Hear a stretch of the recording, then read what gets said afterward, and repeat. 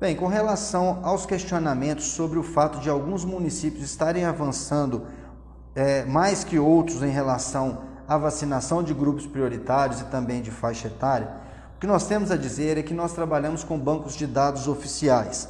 As vacinas elas são remetidas ao estado de Minas Gerais e por sua vez remetidas à regional que envia aos municípios. E todos esses quantitativos de vacina, eles chegam com base em bancos de dados oficiais que por sua vez possam não estar totalmente atualizados.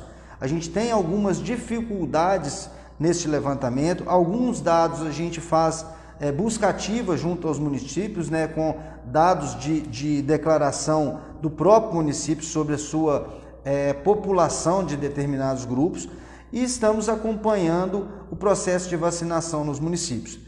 O importante ficar é, é, claro para a população é que a regional de saúde ela recebe a vacina, fatura essa vacina, separa e encaminha aos municípios de acordo com grupos prioritários elencados no Plano Nacional de Imunização. E esse avanço pode se dar por vários fatores. Pode ser situações relacionadas às comorbidades, por exemplo.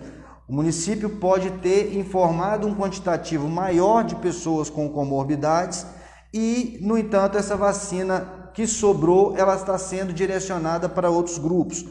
Nós podemos ter municípios que não teve um critério tão rigoroso na seleção das pessoas com comorbidades e vacinou um grupo maior do que aquilo que foi estimado para aquele município.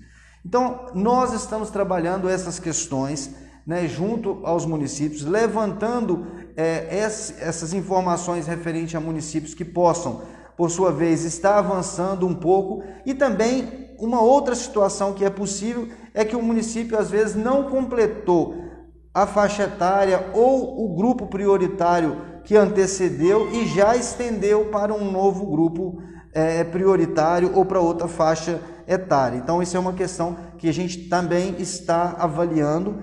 Inclusive, gostaria de citar que está sendo criado pelo Estado de Minas Gerais agora um grupo, né? Esse grupo ele é chamado de grupo de análise e monitoramento da vacinação, vai ter um em nível estadual e um em nível regional, que vai procurar avaliar e equalizar, né, equilibrar esses quantitativos entre os municípios, para que a gente possa ter uma vacinação mais uniforme e atendendo aos critérios do PNI, assim como é recomendado é, para todos os nossos municípios aqui do território.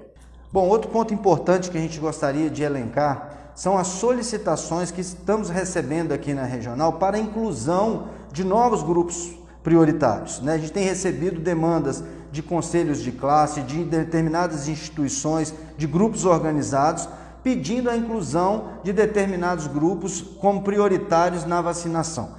É, é, eu quero deixar claro para todo mundo que nós, Regional de Saúde, não temos governabilidade nem autonomia para incluir novos grupos prioritários. As vacinas, como eu já disse, elas chegam aqui na regional já endereçadas para grupos prioritários, conforme priorização feita no Plano Nacional de Imunização. Então, se alguém alterar, quer for possível alguém alterar, vai ser o Ministério da Saúde por meio do Plano Nacional de Imunização e assim por diante vai acontecer nos demais níveis. E por fim, é, eu também gostaria de destacar é, um questionamento que nós temos recebido também aqui na regional, muito recorrente. É quando iremos continuar a vacinação por faixa etária, né? porque temos visto priorização de grupos, é, de alguns grupos nesse período. Comorbidades, é, gestantes e puérperas.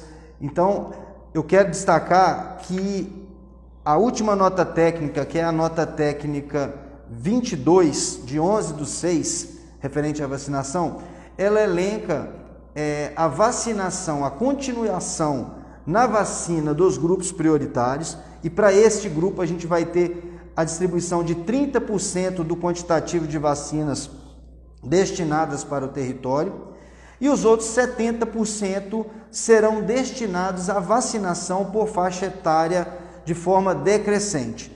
Então, as pessoas que têm comorbidades, elas podem ser vacinadas né, pelo seu vínculo de fato em um grupo prioritário, o grupo das comorbidades, ou também por faixa etária. Ela vai ter duas frentes de vacinação. Então, eu acho que é, é um avanço né, no, no, no sistema e o que vai facilitar e permitir uma continuidade também da vacinação por faixa etária, com o objetivo de vacinar toda a nossa população.